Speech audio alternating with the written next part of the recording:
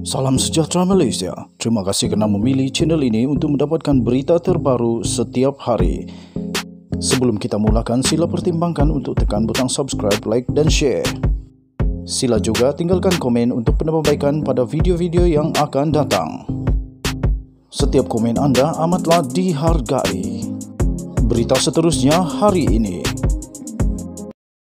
Salam sejahtera Malaysia. Berita seterusnya dipetik daripada malaysiakini.com bertajuk PKP. Kerajaan batal arahan 30% kerja dari rumah, kata Ismail Sabri Yaakob. Majlis Keselamatan Negara MKN telah bersetuju untuk membatalkan syarat pematuhan 30% kehadiran pekerja di pejabat di kawasan Perintah Kawalan Pergerakan Bersyarat PKPB berkuat kuasa 1 April ini.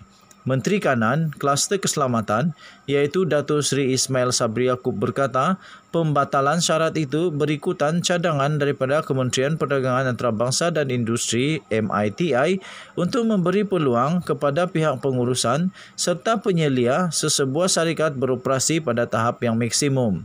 Beliau berkata, Antara justifikasi keputusan itu ialah arahan bekerja dari rumah yang dikeluarkan kepada syarikat perkilangan yang sukar dilaksanakan kerana operasi tidak dapat dilakukan secara meluas. Katanya dalam kenyataan itu, selain itu operasi penghilangan sering melibatkan proses kompleks dan teknikal dengan kehadiran pasukan berbeza yang terdiri daripada kaki tangan pengurusan serta penyelia dan pada masa yang sama mereka dikehendaki untuk bekerja secara serentak.